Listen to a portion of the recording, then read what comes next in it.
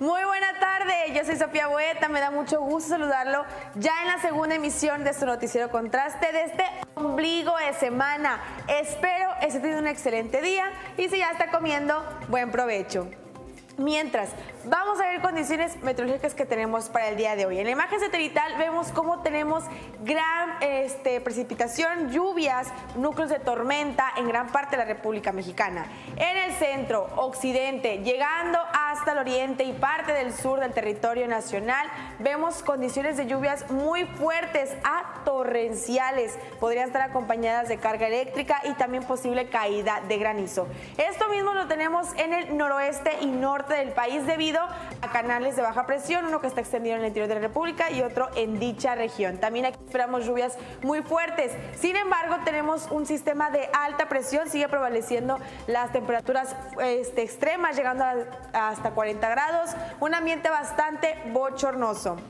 En el sur tenemos el arribo de la quinta onda, onda tropical de la temporada que hace este, interacción con otro posible desarrollo ciclónico. En este momento se encuentra en aguas del Golfo de Tehuantepec. Más información tendremos sobre esto en unos días. Vemos un sureste un poco más despejado, un Golfo de México igual, pero sin embargo aquí como en Tamaulipas esperamos también lluvias. Vamos a ver temperaturas máxima y mínima que tenemos a lo largo del día de hoy en el territorio nacional. Tijuana llegamos una temperatura máxima de 24, mínima de 17 grados.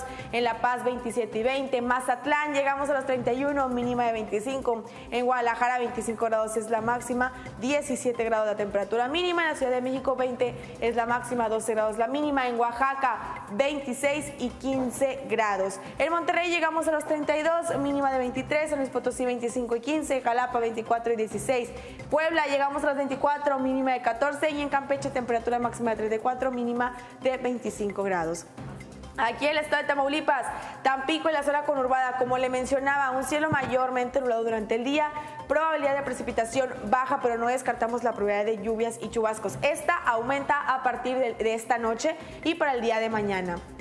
En Ciudad Mante llegamos a los 34, mínima de 25 grados, mismas condiciones para la capital del estado, Ciudad Victoria. En Sotolamene llegamos a los 34, mínima de 25, Matamoros 34 como máxima, 27 grados como mínima. En Reynosa mismas condiciones, Nuevo Laredo 38 es la máxima, 26 grados la mínima. Y en Aldama 32 como máxima, 25 grados como mínima. Nos vamos ahora hasta San Luis Potosí, Ciudad Valles 33 es la máxima, 24 grados la mínima. Ébano llegamos a una máxima de 34, mínima de 25 grados. Tamuín 32 y 26. Nos vamos ahora hasta a, máxima de 30 grados, mínima de 24. En Gilito llegamos a los 29, mínima de 23. Ahora, en Veracruz, temperaturas que estaremos presentando. En Pánuco es de 33 grados, mínima de 25. Nosulama 31 y 25.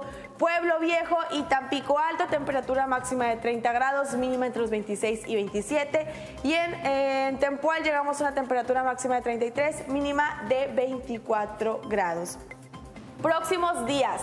Como le comentaba, en este ombligo de semana no descartamos probabilidad de lluvias, máxima de 31, mínima de 27. Mismas condiciones para mañana jueves, pero la probabilidad de precipitación aumenta a partir de la madrugada del día jueves. Para el día viernes, un cielo mayormente despejado, temperatura máxima de 31, mínima de 26.